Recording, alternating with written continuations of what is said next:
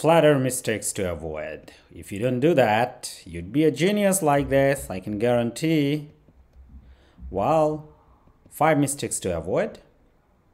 If you don't do that, you'd end up like this mouse. And which one you are, let me know in the comment section. Mistake number one, no specific design in your mind. If you don't have, you'll end up like this guy. He doesn't know what he's doing and where he is right now. You have to have design in your mind. And for design, you should go to Pinterest, Dribbble, or Figma. If you can't afford, it, you can use all these free resources. Mistake number two, not restructuring your project.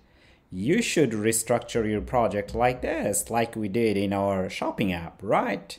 Go ahead and check the shopping app. Mistake number three, not converting your JSON data into class model.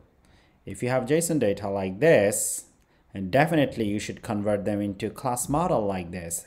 Eventually in the long run, they help you and it's more manageable as your project grows.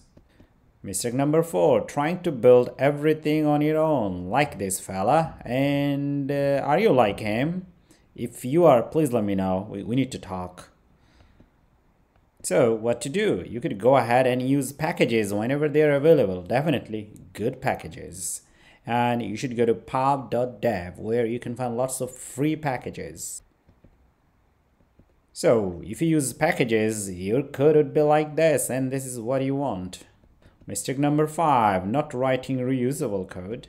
Well, if you have five different buttons, you should use reusable code and just change the color in your parameter.